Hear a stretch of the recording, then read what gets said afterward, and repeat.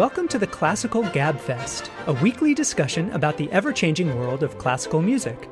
I'm your host for this week, William White, and with me as always are Tiffany Liu and Kensho Watanabe. This week we'll be discussing the recent arrest and indictment of University of Michigan violin professor Stephen Shipps on child trafficking charges and the student journalism that prompted the FBI investigation. Then we'll take a look at the American Masters documentary about the conductor Michael Tilson Thomas that's currently airing on PBS. And finally, we'll discuss a controversial new royalty scheme announced by Spotify that has drawn yet more criticism about an organization that's already seen as shortchanging the artists on its platform. But first, we like to start with our prelude segment. So, Kensho, what do we have today? This week, we'll be playing a round of everyone's favorite game, Viola Hero.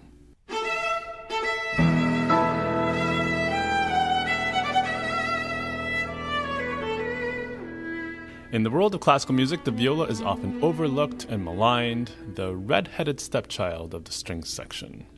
With this game, we seek to bring awareness to the irreplaceable value of the viola in well known orchestral works.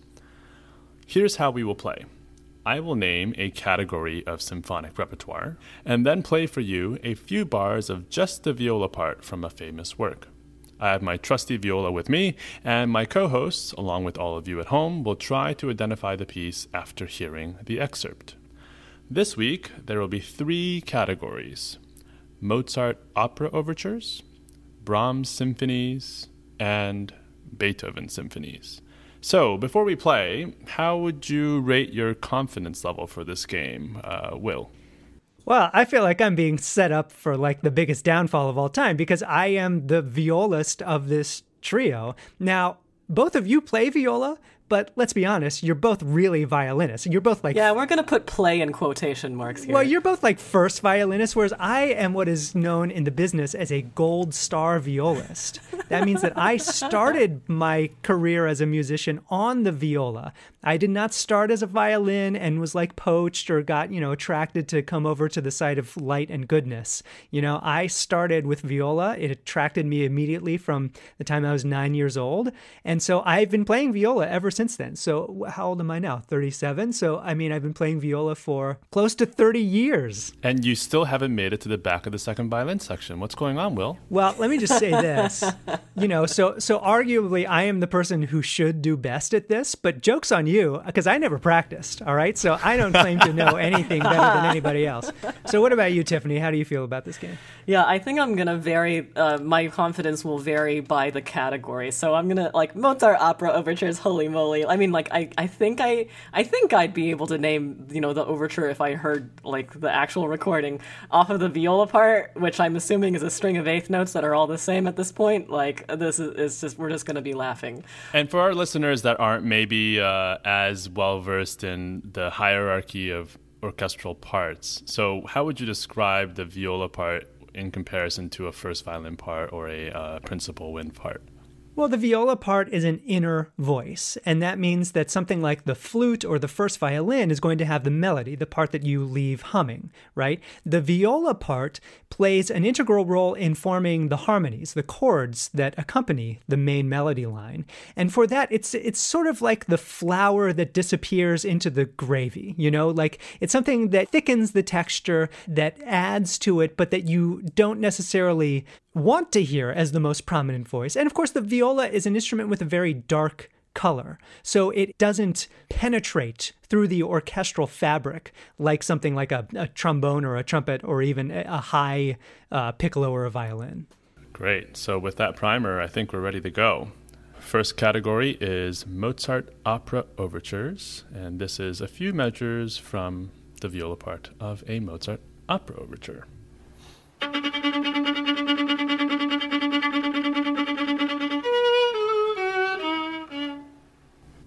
Lol. That's it. this is what this is this is like the worst case scenario. This is what we dreaded when we were playing this game because as a harmony instrument, that means that the viola is oftentimes just filling out the notes in the chord. I will say that the note that it is filling out most for most of that excerpt is a D. Right, which is an important bit of information. So so the the bits of information that we get from this are the note itself and then the tempo that it's playing. I mean, this this would have been truly evil if Kensho had just played like a long held out, like a whole note D. So from those bits of information, I am going to guess that this is the allegro section, the D major portion of the Don Giovanni overture. Tiffany? Sure. Employing the Watanabe strategy, I see. Yeah, we'll file right on that band, that bandwagon. All right. Well, well done, Will. That is absolutely correct. Fantastic. All right.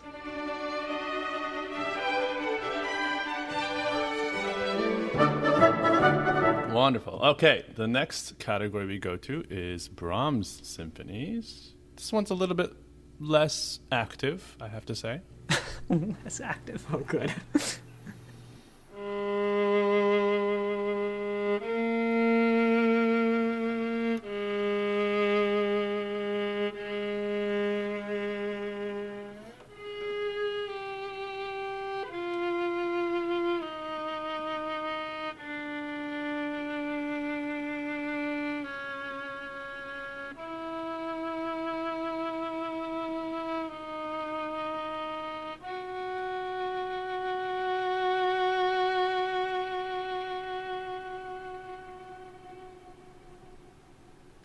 This is so evil. You know, this this game was a listener suggestion from my friend Marcello, and it's like, why did I ever agree to do this game?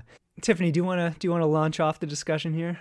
Okay, so it's less active as a slow section.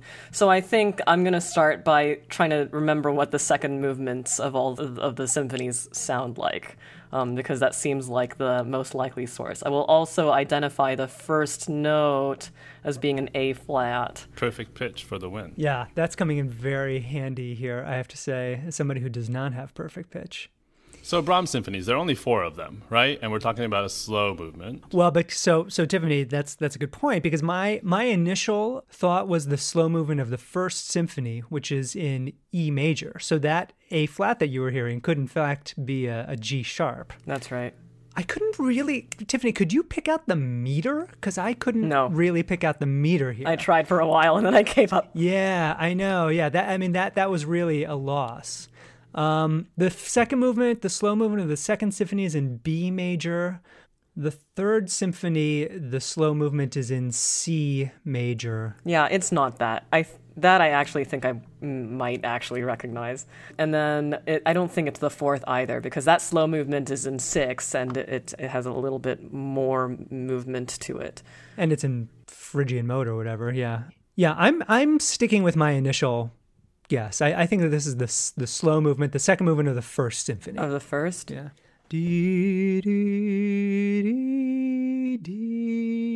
Okay, yes, then that that is actually what I was was positioning around that excerpt as I was hearing it played uh, as a first guess. I started to doubt myself the longer the excerpt went on, but I think that that that I'm um that that that is what I was singing in my head. So second movement, Brahms one. Locking it in. Mm-hmm. Locked in. I'm sorry to say you are wrong. Boo.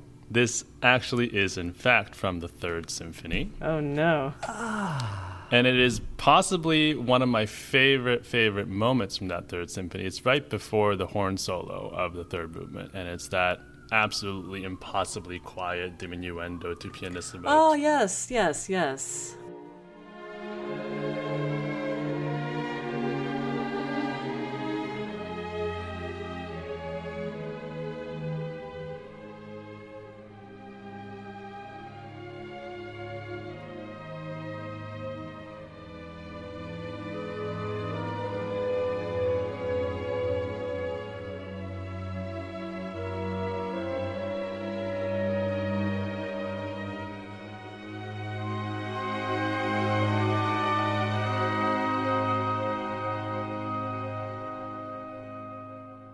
See, the other part I would just say about like violists in general and me as a violist in particular, especially because like you know, I would never like advertise myself as a violist. Like I, I'm first and foremost a composer and conductor.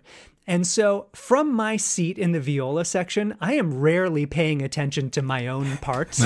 you know, I'm really listening to every, like I always feel like when I'm playing in an orchestra that I just have the best seat in the house, you know, and I get to listen to all of this great, beautiful Brahms going on around me. You, but, but I will, uh, on the other hand, I will say, I thought that the Brahms category was going to be the easiest. I thought so too. But it turned out to be our downfall. Well, we'll see what happens in number three. All right, and to close out, we will go to Beethoven symphonies, and uh, yeah, no introduction in this one. Let's just dive right in.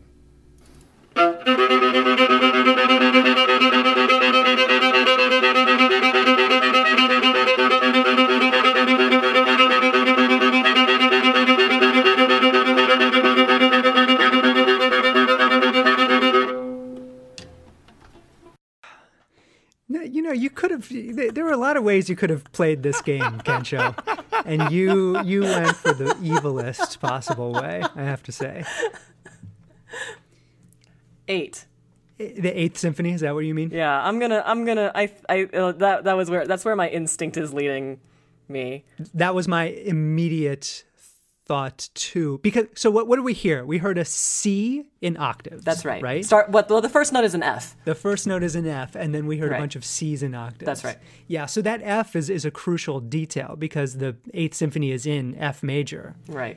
Well okay but let's look at let's look at the other options here. It could be the first symphony which is in c major I mean, there's something about the doggedness of the, the what the what the viola part has written in here that suggests to me something later because we know that earlier symphonies are cast very much in the classical mode, and so yeah, yeah, okay, okay, I like your reasoning, Tiffany. I'm I'm I'm locking in with you. So a last movement. Yeah. Yeah. Okay. Let, let's let's do it.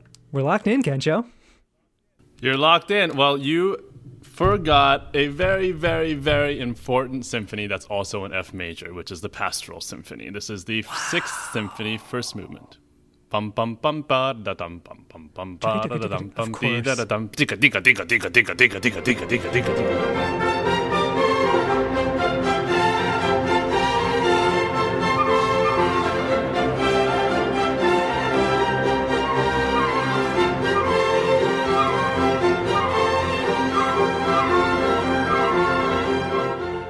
It's the best viola moment in that movement is when the violas just rock out to the. Wow, it's slim pickings, isn't it? Hey now.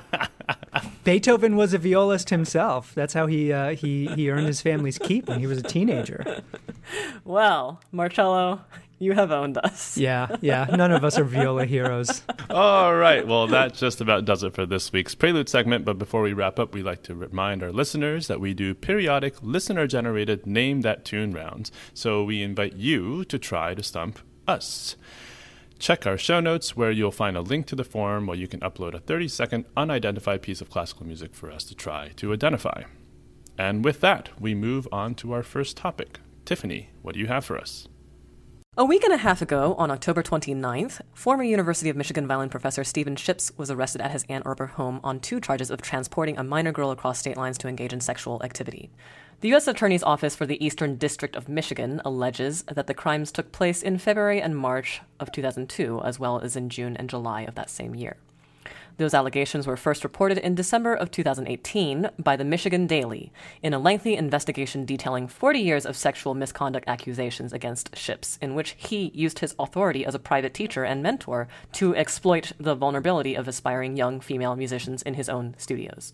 Stephen Shipps was placed on administrative leave shortly after the publication of the Michigan Daily article. He was instructed at that time to have no contact with students. He never returned to campus and retired from the university effective February 28, 2019. As of last week, though, he's been officially indicted and now awaits trial. Today, we are having a conversation with Sammy Sussman, the student reporter who originally broke this story. As a writer for the independent student run Michigan Daily, his piece garnered national attention and launched the investigation that followed, resulting in last week's arrest. Sammy is also himself a student, now a senior at the Michigan School of Music, Theater, and Dance as a composer and double bass player. Welcome to the podcast, Sammy. Thanks. Nice to be here.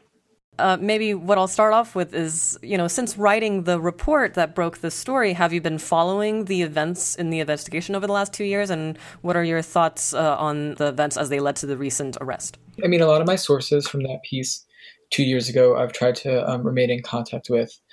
And so I was kind of aware that there was some interest from law enforcement agencies. I wasn't exactly aware that it had moved to the point where a prosecutor got involved in the case, but I definitely knew that there were multiple law enforcement agencies interviewing people from the state of Michigan. What's interesting about Shipps's career is that he taught at the um, University of North Carolina School of the Arts. That's right. In the 1980s, um, and a lot of the alleged um, sexual misconduct, and there were two allegations, I believe, of sexual assault that I reported from his time there. And so I had questions about statutes of limitations and if North Carolina um, law enforcement agencies would be involved. But we were very aware that kind of the more recent alleged misconduct would be very, it seemed much more criminal. Um, right. just because there's no question about statutes of limitations. And so I knew that there was a lot of law enforcement activity around the more recent allegations.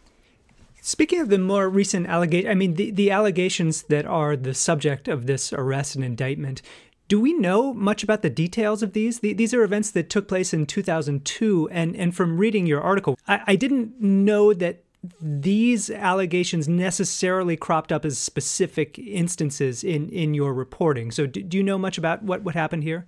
There's a couple things I can say about that. What makes Shipps a little complicated is he was the chair of the Department of Strings here, but he also taught at Meadowmount for a while. He taught overseas. I believe he did something called the Cambridge Strings Program in England, and then he would teach sometimes in the Czech Republic.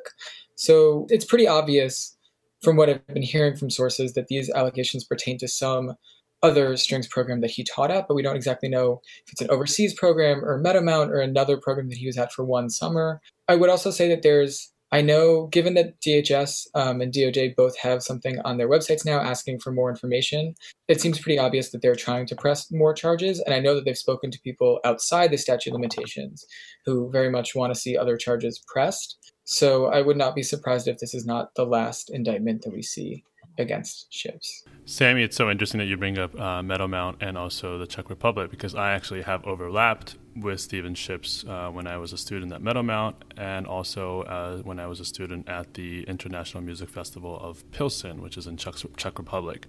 And while I haven't directly kind of heard anything about abuse at that time, I mean, looking back on it now, I'm kind of like, oh, maybe that was happening before that. But I was just wondering if, at least in the circle that you were in in Ann Arbor at UMich, was that kind of a worst kept secret in a way in the school, or was it something that really shocked a lot of people when you found out or you broke the story?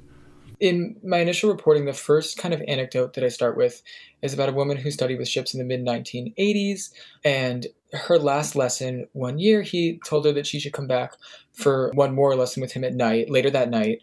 And when uh, she came back, he locked the door, turned off the lights, and she um, alleges that he tried to assault her. He had pushed her against the door and started kissing her, and she pushed him away and then he did that again and she ran out of his office and she alleges that she spoke to the dean of NCSA and I'm actually working on some more reporting about what happened specifically in that instance but we do know that a couple years later he left NCSA and the only document that they've retained about his employment says that his reason for leaving is other not that he resigned his position which would be standard for other employees so, you know, we have reason to believe that the dean might have known there, and there's questions around when he left. Moving to the University of Michigan, he's hired here in 1989. In the time between his hiring is announced in the spring and he actually begins teaching in September, a musician based in Ann Arbor who also worked for a summer at NCSA went to a member of the faculty of strings here and said, I've heard these allegations about Shipps from his time at NCSA. You shouldn't hire him here. And that faculty member who was told this uh, still works at the University of Michigan. When I spoke to him, he claimed that he couldn't remember conversations from 30 years ago. We have no reason to believe that that was ever investigated. In 2017, I also found an email that was sent to the dean of the music school here, where a woman from um, Shipps's time at NCSA alleges that he that he perpetrated statutory rape against her and took the University of Michigan a year and a month to respond to that email, and they only did so when they became knowledgeable in my reporting. So I think there's a couple, regardless of how much it was an open secret, I think we know of at least three instances in which authority figures were told of this and there was no investigation that took place, from what I can see.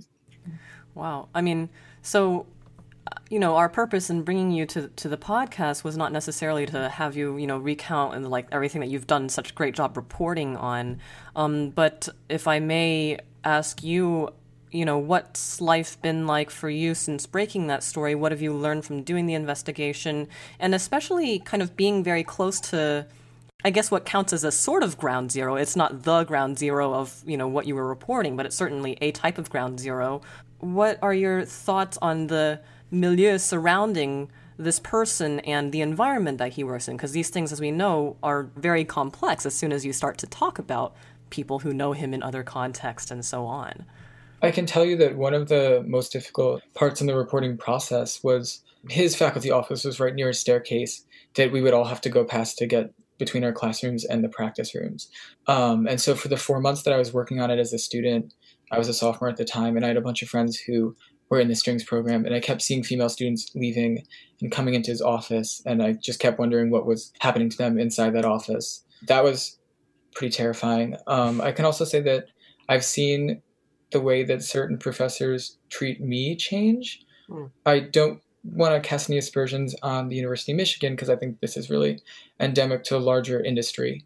But I do think we've had quite a homogenous and calcified power structure for a long period of time. And I think that because that there's certain individuals that um, are uncomfortable when one of their colleagues is maybe reported on. And I think that there are also, I know of at least a couple people who seem very fearful that I would actually start investigating them. Right. Um, not that I'm doing that currently, but I've definitely seen that change. The other thing I can say is because Shipps was the he served on our executive committee for years. Mm-hmm. He was our associate dean. He was the rector of our youth program, yeah, the, prep county, department. Yep. There was such an inherent power structure there.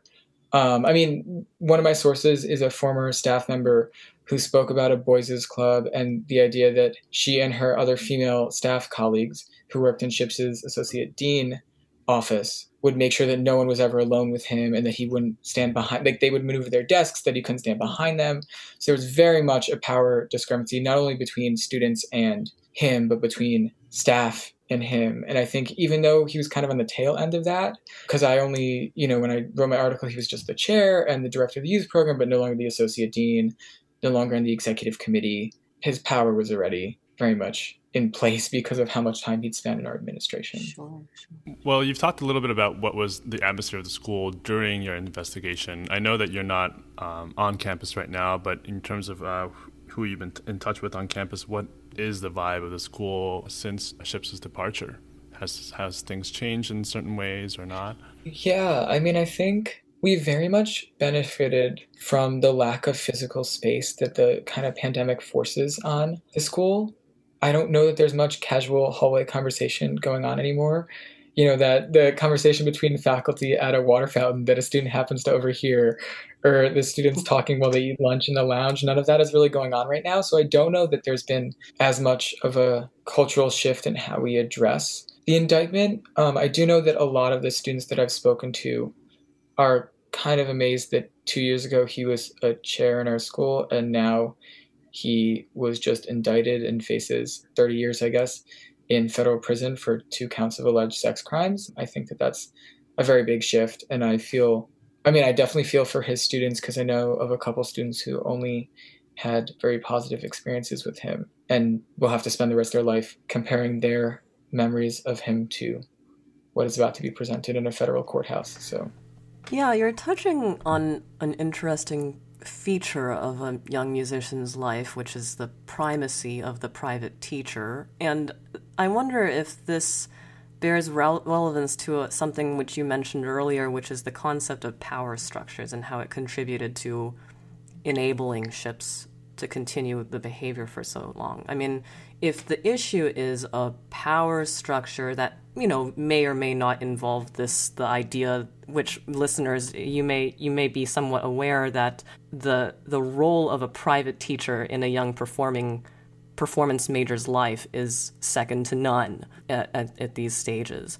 And so it's not a huge stretch to imagine why a, a student in need of professional and in many cases emotional support would view their relationship with Shipps as or or, or their other primary teacher as um, so important anyway so if we are to sort of contextualize this idea uh, into power structures as you were mentioning earlier what do you think the way to start to address the power structure issue is in our music schools and perhaps beyond?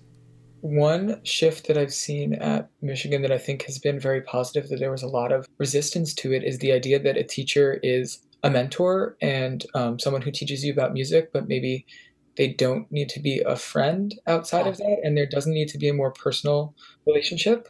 I know of some faculty who were pretty uncomfortable that that shift was taking place and pretty resentful that this reporting was leading to that. But I think that that's a very positive shift. To play the to the counter argument, I guess for a second, one thing that I found a little disturbing in responses to this reporting is people who say, how can a faculty member continue to have any sort of relationship, even if it's professional, with a student, given that this sort of reporting is taking place? And I think that there's very clearly defined lines between 40 years of alleged sexual harassment and misconduct and a professional student faculty relationship. I'm glad to see that like the University of Michigan is training faculty more in very clearly defined lines between what's appropriate and what's not. But I don't know that it's horrible that the power and relationship between a student and a professor is dissolving a bit. If there's so much bad that came from that, I can't really think of that much good that would yeah, and I, you know, every there's always going to be kind of reactions to, and as a college professor right now myself, I will also say that, yeah, I mean, like, I want to be careful and respectful with my students, and I recognize that there's a fairly bright line between being friendly with them and uh, doing 40 years of who knows what. So, uh, you know, can I just, you know, position the GabFest as being kind of fully in support of there, it not being just this automatic throwing out of any sort of, you know, valuable personal or friendly relationship between a professor and a student when when when you are identifying things that are obviously wrong in any case. Like this is not an ambiguous case. Sammy, you know, your website lists you as a, uh, a bassist and a composer, and that, that's obviously your major at the University of Michigan. But now you've like done all of this reporting. You've written for the Michigan Daily and for Van Magazine and stuff. So the question is like, what do you want to be when you grow up? You know, like what's what's in your future? It's interesting because I used to get such inspiration from composing because I loved sharing my, I guess, emotions or like musical thoughts with the world. I never realized how inspiring it would be to share the stories that have intentionally been suppressed by others in positions of power. Um, I'd like to think that there's some career that I can form that's a combination of both. Um, not that I really know what that is, but I, I've just been so inspired by how much reporting can change the world when it's you know very heavily corroborated and very heavily sourced. Fantastic. Well, this is great. I mean, we so often talk about media and reporting as if it's a monolith of who knows what goes on behind the pens, and then we are on the receiving end. And I hope that you know through this topic and the rest of the great work that you're going to gonna do, you know, covering the topics that you've chosen to cover, will open some eyes for our classical listeners for our world because we have our own devils to deal with for sure. So, thanks so much for joining us on the pod. Thanks for having me. That does it for our first topic of the day. Will, what do you have for us? Michael Tilson Thomas is one of the most successful conductors of his generation, having led the London and San Francisco symphonies and founded the New World Symphony in Miami Beach, Florida, the nation's leading training orchestra for postgraduate pre professional musicians, where he remains music director over 30 years later. Tilson Thomas, or MTT as he's better known in the business, is also the subject of a new American Masters documentary out on PBS this month. Let's hear a clip. What a conductor is doing is getting a hundred or so people to agree where now really is. The kind of pulse, the kind of underlying breath that animates the music. The conductor has had the luxury of seeing the whole design in the score. So he is in a position to perceive the total design of what is happening in the performance.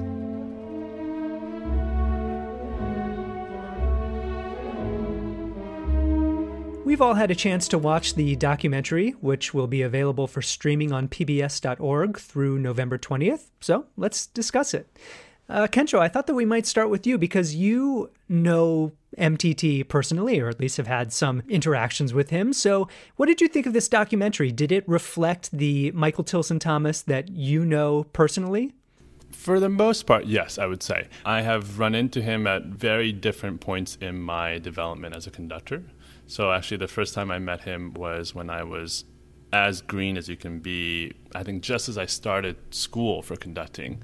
I went down to New World for one of these conductors workshops that Michael was leading. That was an audition to be the conducting fellow of the New World Symphony, but never called that. So it was always under the guise of, oh, come down for a workshop, but actually you were being auditioned. And it's actually kind of a good lesson to know that, like, at any point you're auditioning for something. But me being a pretty naive and green conductor certainly was not ready for that moment. And so I felt like Michael was a little bit frustrated with having to deal with me in that moment. So maybe not that was not our most pleasant moment together. But then over the years, through my work as the assistant conductor of the Philadelphia Orchestra, we got to work together quite often. And then I even covered Michael when he was conducting Bruckner 7 with the LA Phil.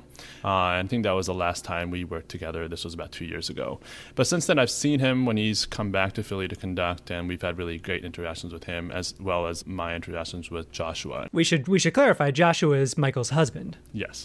And people say that Michael is at his best when Joshua's around, and I think Michael also alluded, uh, you know, kind of alluded to this in the documentary as well. And I think that it was nice to see that story of the two of them. But I would definitely say, and this is true for any kind of documentary featuring a person, that it highlights a person's best moments or a, you know a, a, a, a long succession of great moments and great memories of a person. So, well, with that said, I don't think that it's something where it's a puff piece on Michael. I think there are some real moments, and I, I do see the real Michael in this documentary. And uh, fair to say, I've only interacted with him maybe six or seven times throughout my career. So it's not like I know him very well or that I'm very close to him. So here's the thing about a documentary like this. And here I want to do something perhaps a little bit unfair, and that's to compare and contrast this with another American Masters documentary about a great conductor. And that's a film called Reaching for the Note, which is about Leonard Bernstein. And that film was produced in, I would say, the late 1990s or early 2000s. I certainly had it on DVD by the time I went to college in 2001 because I watched it probably a hundred times over the course of four or five years. The big advantage that that documentary had, I think, over this one is that Leonard Bernstein was already dead by the time that they made it. So they could probe much more into his personal life, into his demons, into his dark side. Whereas, as our listeners will have heard from this, Michael Tilson Thomas is actually the narrator and the principal interview subject of this documentary. So, this is much more autobiography rather than biography. But Kensho, I do agree with you that to me the most interesting bit in here was the the love story between MTT and his husband Josh. And I had no idea. They were middle school sweethearts, essentially. I mean, you know, they met in middle school, I guess in or outside of Los Angeles. They then kind of went their separate ways, did their own professional lives, but then they met up again when they were only in their late 20s. And MTT was the music director of the Buffalo Philharmonic Orchestra. And they reconnected and they lived together as husband and husband, essentially, in like the late 1970s, early 1980s in Buffalo, New York. And I frankly did want more about that. Like, there must have been some eyebrows raised in that time and that place. Wouldn't you have thought? Yeah, I mean, I, I, who knows what that experience was like? I mean, again, like you said, this is something that won't probably won't come out until maybe later on. It's interesting you mentioned about uh, one of the moments I think great moments in this documentary was when they both visit that said middle school, and they go to the music room and you know they're at the piano and they're talking and Joshua at that moment I think talks about how even at that point, whenever Michael started playing the piano, he was just immediately drawn to just the brilliance that he had on the instrument or just his intellect or whatever. And that's definitely not just for someone that is in, is married to Michael and is in love with Michael. I think, like Tiffany alluded to with the the piano stuffed animal moment, I think that anytime I've spent time with Michael backstage and he gets on the piano and just starts playing and talking through music, it is incredibly enthralling and just packed with energy. I think Michael really does come alive at the piano. So it was nice to see those moments and also hear from his husband that that's also something that was happening when he was younger. So, whenever we have a documentary like this, we're learning about the artist both as a person and as an artist, in this case, as a musician. So, Tiffany, like, what, what was your preconceived notion of MTT as a musician before this? And did this change anything about what you thought of him as a musician or did it did it fill in any gaps? Did you learn anything new about his musical personality? Well you know no i did i i i'd never watched i'd never seen him conduct live. I'd never been in his presence of any one of his rehearsals so there wasn't much to correct in my case. I am aware watching this documentary that it's not it's not even a biography or an autobiography in that in this case. I mean, it's not complete enough for that, right? This is a this is yet another extension. I mean, he mentions in the in the piece that he starts to create this MTT persona in his what did he say his early like as soon as he you know got his first conducting thing which is like like was he still in high school? I can't remember but very very young. And I think that this is another uh, a continuation of that uh, even as he's going into his later years where he has a little bit more time and isn't on and off the podium every single twice a day or whatever it is that he he's trying to create and have a hand in creating his own legacy. And that that's fine you know but uh, we're not there's there are not a lot of there's not a lot of dirt and there's also not a lot of what am i trying to say? It didn't it didn't surprise me. So Kensho my my impression of mtt is i actually think that he's one of the most creative interpreters as a conductor in the field.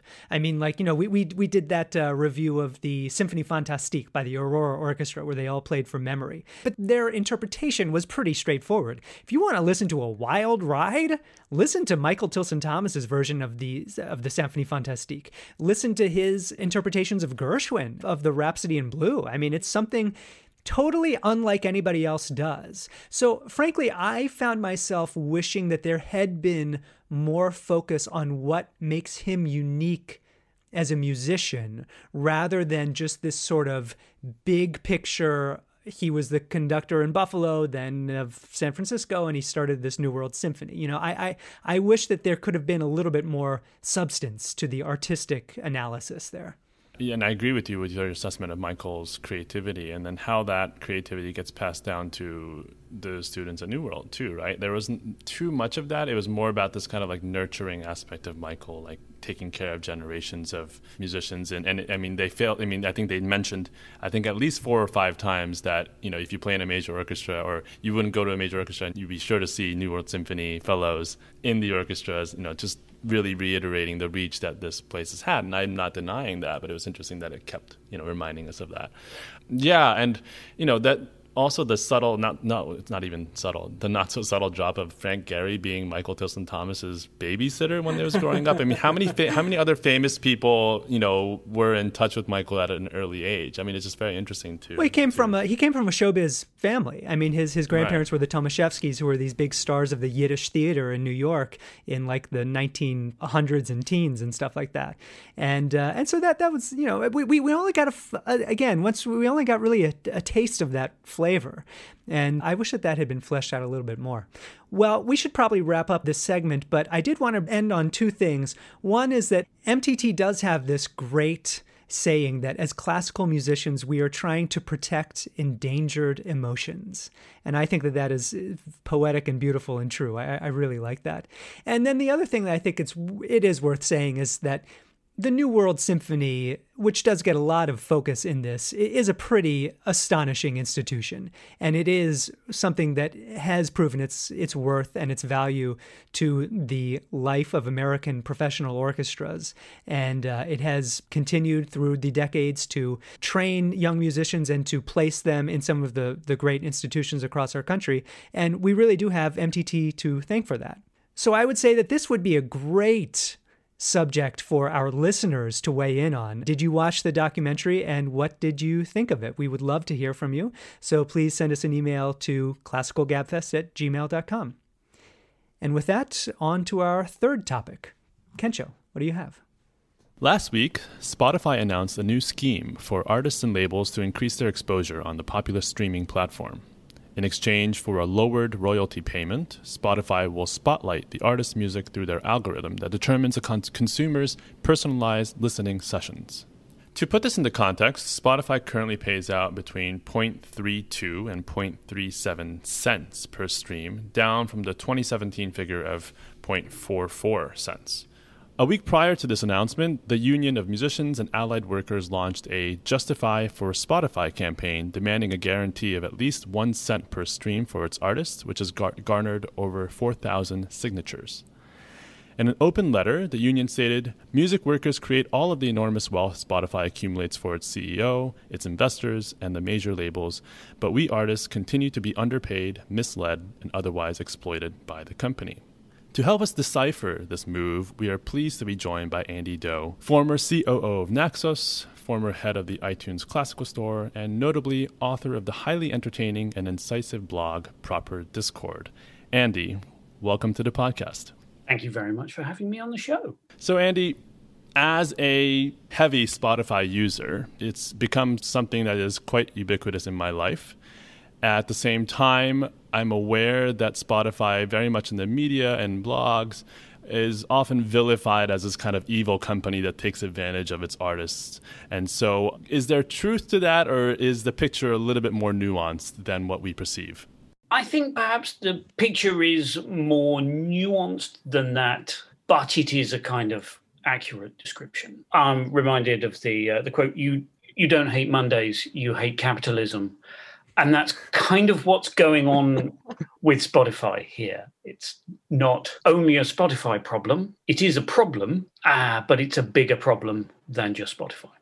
And we're talking about these fractions of a you know of a cent that artists are garnering per stream. Now, if you are a high volume artist that is you know averaging six million streams per day, this is still a quite a lucrative endeavor to have. But we're talking about these smaller artists perhaps classical artists they're not getting all these streams.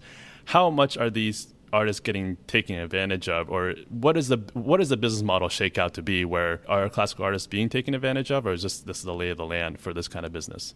The issue at stake here is that streaming revenue is pretty low on a on a per stream basis. And if you make music that people don't want to listen to again and again and again and again and again then you don't get paid very much when they stream it. And that's a problem for lots of different genres of music, but particularly one where the fixed costs of making a recording are very high, uh, where the royalties have to be shared out among a very large number of people. And it's something which people value enough that they would once have bought a record of it just to listen to once or twice, but will not stream again and again and again and again and again, which is what you need to pay off the symphony orchestra you rented. And so that is an issue that is particularly troubling for the classical music world. There was some research done by Gramophone magazine about a decade ago where they, they researched their readers' listening behavior very carefully because they want to sell advertising in their magazine. And they did this research on the listening habits of, of, their readers and discovered that the average gramophone reader buys an awful lot of CDs. They listen to them on average somewhere around once. So if that's a 10 track CD, a uh, third of a cent per track, instead of purchasing a, purchasing a CD, if that listener moves to uh, a streaming service, they're going to pay you three cents. Well, they're going to pay three cents to the label um, and then the label is going to keep their share of that. Right. And if you own the label, then you have to cover your costs out. You get all of that. You get all three cents, and then you have to cover the cost of running a label out of your three cents before you take any profit. So, what about this move that Spotify is offering to increase algorithmic discovery for people who are willing to take a, a lower royalty rate? Do you think that that's a, a raw deal, or is it something that people should consider? When somebody comes to me and they, they say, Andy, I, I want to help making a record, releasing a, a record, the first question I ask them is, why do you want to make a record? Right. Until we figured that out, it's difficult to know what's the right way to do it or and we won't really know whether or not we succeeded until we know what the what the motivation was right we won't know whether or not they'll be happy with this and sometimes the reason is i want to make lots of money and at that point i sit them down and give them the talk about how uh, this this isn't going to happen and if if they don't listen then uh, i take them on as a consulting client um, if what they want is for their music to be heard by lots of people then we can talk about the ways in which they might want to distribute their record. And sometimes the right answer is we should put this out there with no paywall in front of it at all. Sometimes the right thing to do is put it out there on commercial platforms, both streaming and download. Sometimes the right answer is that this is only available physically, or this is only available in these very limited quantities of a very luxurious physical format. But there are times when what you really want is to get your music out there in front of a lot of people. And so giving up what is already a small revenue stream or reducing what is already a small revenue stream may seem like a, a good idea to some people.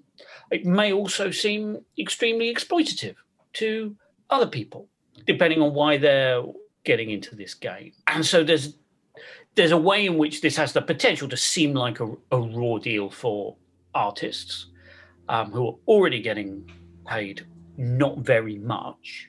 And there's also the potential for this seem like for this to seem like a raw deal for consumers. Uh, because the consumer does not get to uh, take a discount on their monthly uh, subscription in order to listen to the music that Spotify is putting on sale. This isn't a discount that gets passed through to the consumer which is typically the way that price promotions for music work, right? You want to have your album promoted on Amazon or on the Apple download store, then you put a discount on your album and they pass that discount on to the consumer and give you promotion for it. This is a long standing tradition in price promotions for music, but that's not what Spotify is proposing here. What Spotify is proposing here is that you give Spotify a discount on royalties and they will play this music more often, saving them money and inflicting on on listeners who have trusted Spotify to choose what they listen to, inflicting on listeners music which is not better, it is merely cheaper for Spotify to play. Is this not the same thing as what was known in radio days as payola, which has since been outlawed? it, it is, yes, uh, with the difference that Spotify is offering the artists a payment plan on the payola. So the trouble with payola, of course, was that you needed to have money up front to bribe radio stations to play your music. Spotify here is offering instead to program your music in exchange for a reduced royalty rate. So you don't have to come up with the money up front. You just don't get the money on the back end. Which brings us back to the the broader problem here, which is that technology has been moving tremendously fast. And uh, when when TV came along, uh, when radio came along, when newspapers came along, we as as democratic societies realized they had tremendous power, and that there was tremendous risk associated with this, and we regulated the shit out of them. And since the internet came along, uh, the internet started. You may you may be uh, just old enough to remember the early internet that was just like people on their computers right? And now those people have formed structures and some of those structures have formed legal entities that are that are companies that are tremendously powerful. And they've they've built vast infrastructure but they've consolidated an enormous amount of power in in doing that the power to change the outcome of elections, the power to create vast fortunes, to change the, the, the, business landscape, to change the economics of entire industries, to put whole workforces out of business in pursuit of some fundamentally loss-making goal. But uh, as as this has as this has happened, regulation has failed to to keep up, and Spotify is now essentially proposing something that was illegal for a radio station to do. And we're all like, yeah, yeah, that's a kind of sucky thing for them to do because we've we've become so used to tech companies wielding such unchecked power that this no longer seems like a thing we would put our hands up and say, wait, wait a minute, shouldn't shouldn't we stop them from doing this? Isn't this the remit of government? Uh, the internet has somehow convinced us that that this is an unregulatable space.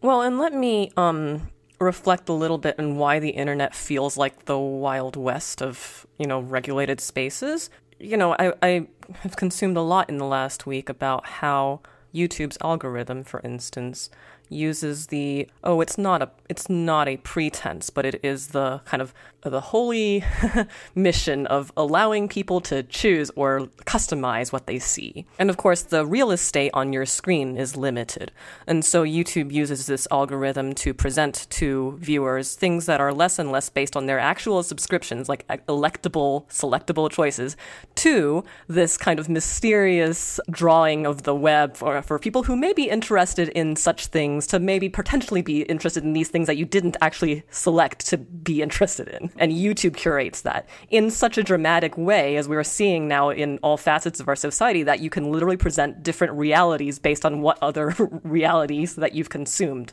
prior to this point. And uh, you know this this idea that from your very own personal portal, your personal computer in your living room, that you can decide what you want to consume. That is for me the really different aspect of um like that the front differentiates the internet from newspapers because that's a public good. Like you're presenting something that goes to a mass audience and then there's a sort of filtering that happens post distribution here the filtering happens pre distribution meanwhile look at the way a platform like youtube behaves around copyright okay? Oh, yeah. you you want to take down a piece of content that violates your copyright you have to answer all of these questions. You have to jump through all of these hoops. You have to do all these difficult things. It's like it's like trying to cancel your comcast subscription.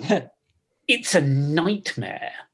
At the end of which if you answer all of the questions correctly you're able to submit a form and a process gets followed and the content gets taken down. You compare that with what you need to do in order to upload a piece of content at no point does it ask you then, did you compose this work? Is there music on this that you didn't write? Does any of this belong to anybody else?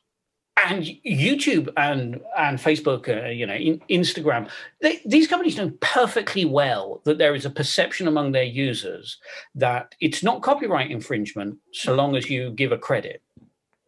Imagine it was. Imagine back in the mid '90s, Napster going to the going to the record labels and saying, you know what, we'll cut you in on this. Right, you know, they might yeah, still be like in existence if they had done going that, on right? Here, but you know, we'll, we'll give you the opportunity to either take down your content or get some of the money off it.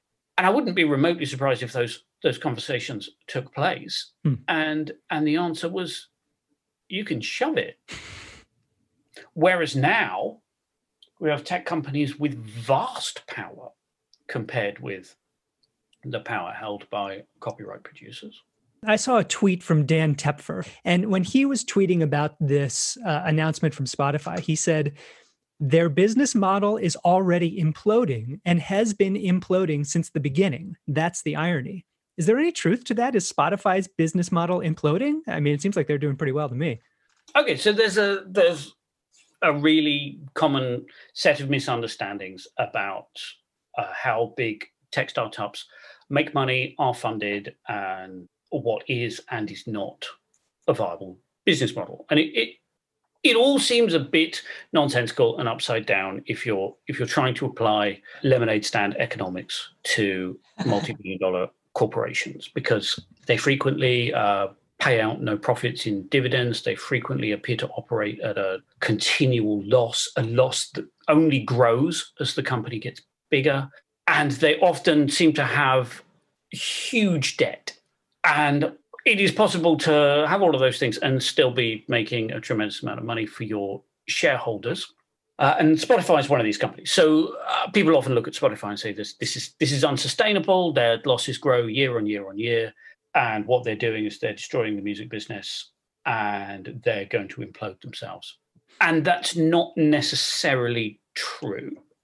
Uh, there is this thing called investment, right? All the time you're investing in a business, it is consuming money from you, but so it's making kind of minus profits but it's you're doing that in order to grow it in anticipation of future reward and with a company like spotify which is expanding beyond beyond music now into podcasts and other things it's expensive to set up so you you get a load of investment and you spend that building this thing and demonstrating that it has a it has a potential user base. And, and when it's up and running and it kind of looks looks like it's all right, you have a choice.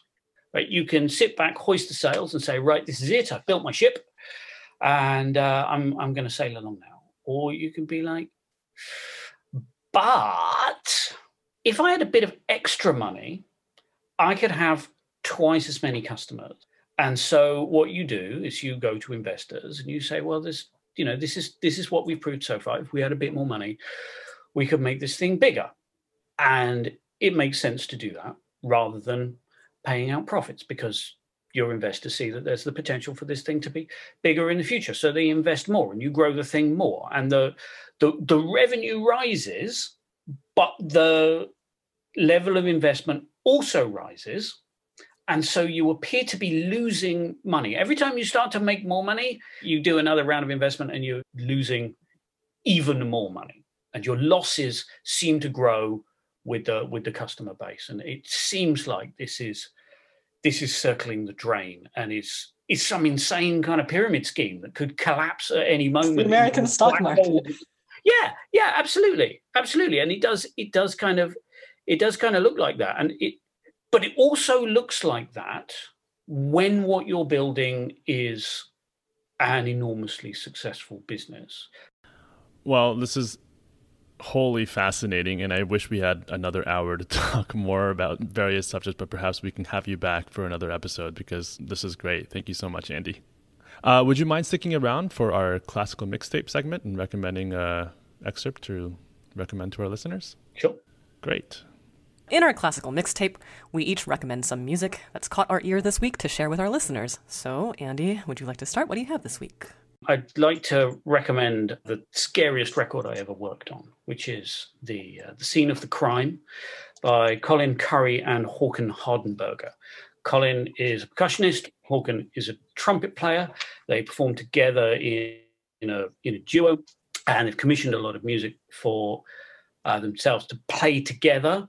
And uh, they have a really unique way of performing, which is uh, in the studio, which is really, really scary because they both like to really push the limits of what's physically possible on their instruments, which means take one, they try and play it too fast and they can't play it, and take two, they try and play it too quietly and they can't play it.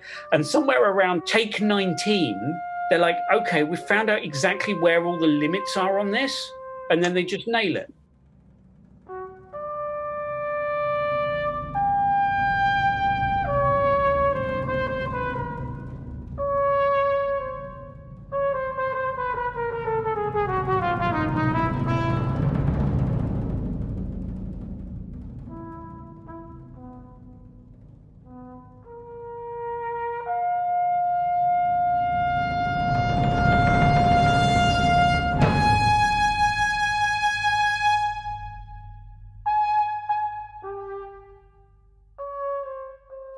Both the most stressful and most wonderful time I've ever spent in the studio listening to these guys create complete magic right on the very limit of what's humanly possible.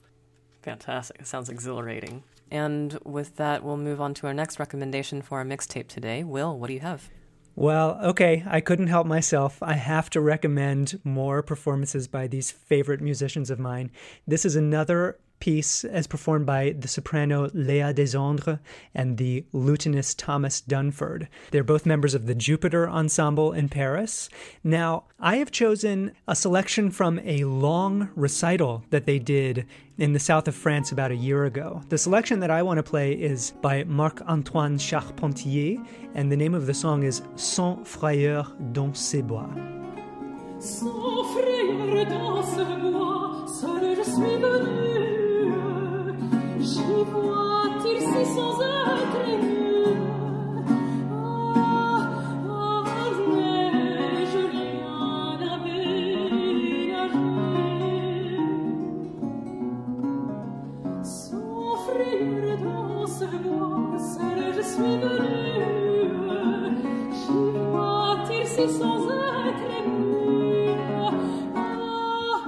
And so I should say, you know, we're, we're going to include this track in the Classical Gabfest playlist, but uh, we'll, we'll also link in the show notes the full recital that this comes from. I think that we've all had maybe some frayed nerves in uh, the past week or so, and I find that this is the most detoxifying listen I can do. The whole concert is about an hour and 15 minutes long, and I frequently will click on it and I'll think, oh, I'll just watch about, you know, like five or 10 minutes of this. And I just end up watching the whole thing. I can't, I can't help myself. So for anybody who wants to like soothe the soul a little bit, this would be a great way to do it. Fantastic. Thanks, Will. Um, I'm going to recommend a symphonic work. This is the third movement of Symphony Number Three by Henryk Górecki. This is a Polish composer composing, you know, late 20th century, and I came to this composer's symphonies fairly recently. In fact, this wasn't kind of re brought to my attention until last week when a student of mine asked if he could do his final project on this. And it hadn't even crossed my mind to suggest it. He had been looking for songs that speak to motherly love. And this is just such a piece. So the movement that I'm recommending is the third, which is told from the perspective of a mother searching for her son killed by the Germans in Silesian uprisings. And I'm recommending a recording here by Dawn Upshaw, David Zinman, and the London Sinfonietta.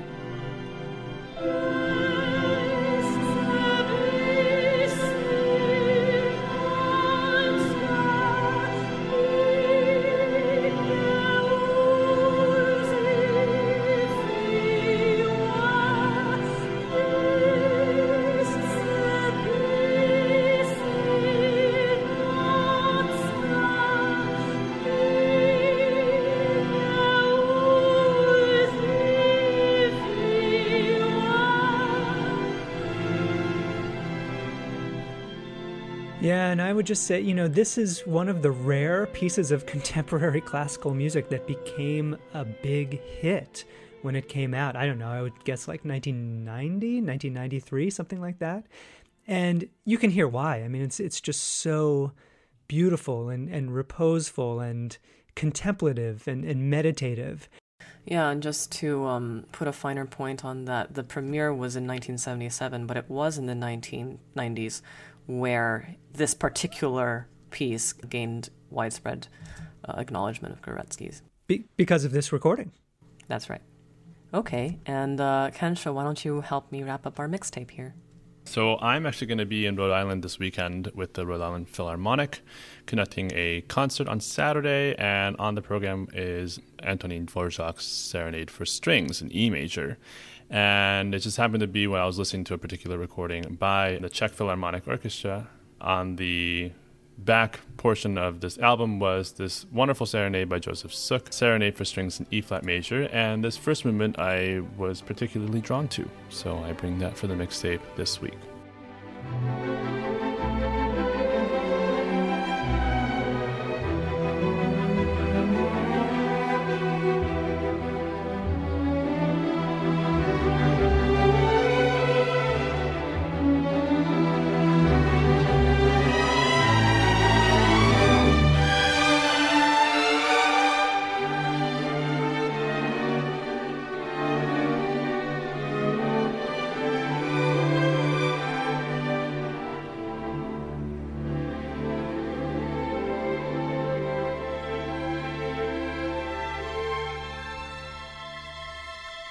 Great, viola part in that uh, in that serenade, both in the Dvorak and in the Suk. Thank you, Kensho. You'll find the links to all these and to our full classical mixtape playlist in the show notes. And with that, it's time to wrap up this episode of the Classical Gabfest. I'm William White, and on behalf of Tiffany Liu and Kensho Watanabe, I'd like to thank you all so much for listening and to encourage you to subscribe and rate us on Apple Podcasts. We'd also love your help spreading the word about the show on social media, where you can find us on Facebook, Twitter, and Instagram. You can reach us at classicalgabfest at gmail.com, and we'd love to hear from you. Until next time, happy listening, and we'll be with you next week.